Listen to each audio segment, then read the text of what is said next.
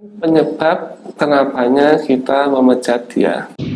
Kan, jadi kami mohon maaf, uh, kami memutuskan untuk memberhentikan kamu mulai dari besok. Bagaimana cara yang baik untuk memecat karyawan? Ada tiga.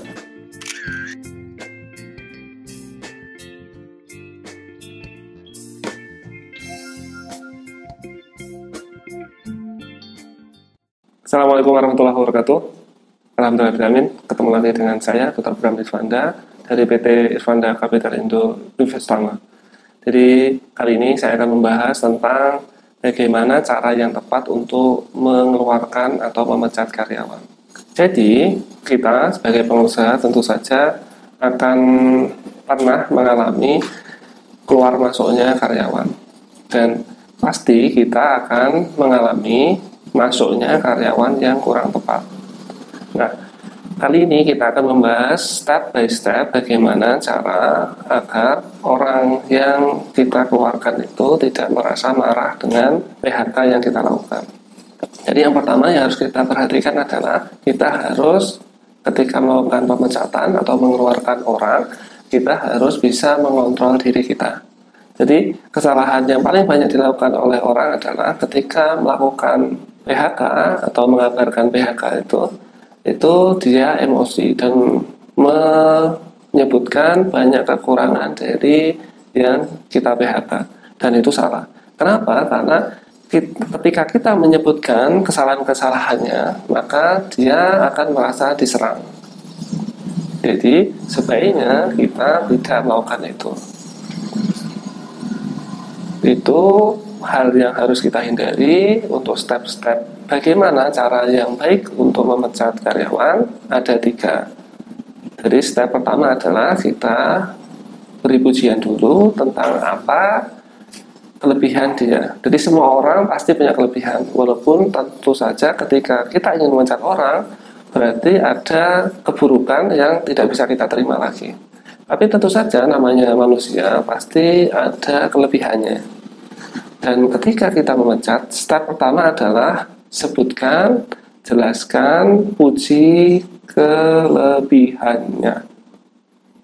Jadi ketika kita sudah menjelaskan tentang kelebihan dia selama bekerja di tempat kita, baru di step kedua kita memberi kabar.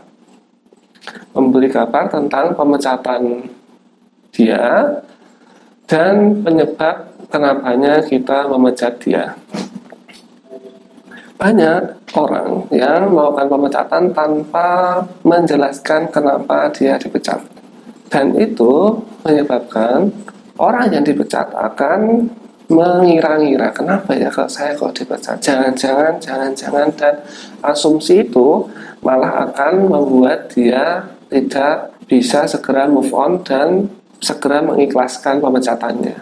Jadi harus dijelaskan dengan baik kenapa dia dipecat.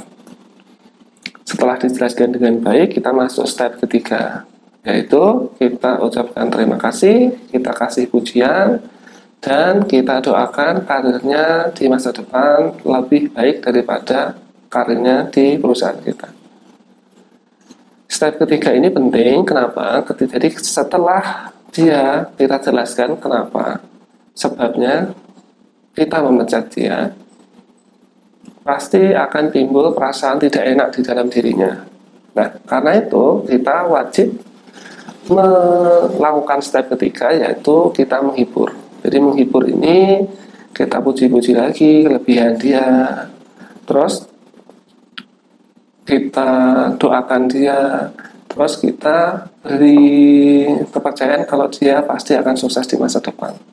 Jadi setelah di step ketiga ini biasanya perasaannya akan menjadi tenang kembali. Jadi seperti itu. Nah, untuk ilustrasinya bisa Anda lihat di video berikut ini.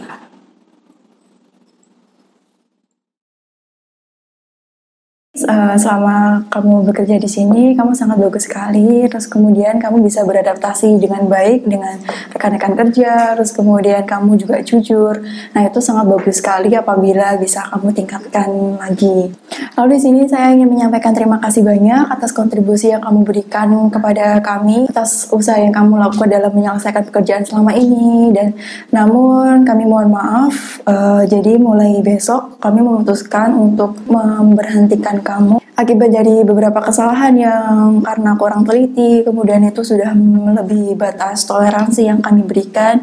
Jadi kami mohon maaf uh, kami memutuskan untuk memberhentikan kamu mulai dari besok dan untuk itu kami terima kasih atas segala kontribusi yang sudah kamu berikan dan usaha-usaha kamu yang uh, sudah kamu lakukan selama ini. Dari situ kami menilai bahwa kamu orangnya mau berusaha dan itu bagus sekali. Semoga dengan mau berusaha dengan seperti itu kamu bisa meningkatkannya lagi di perusahaan-perusahaan lain sehingga kamu nanti di sana bisa mewujudkan impianmu dan menjadi orang sukses di luar sana. Jadi sekali lagi kami ucapkan terima kasih dan semoga kamu bisa menjadi orang sukses dan jauh berkembang lebih baik dan menjadi luar biasa di tempat lain.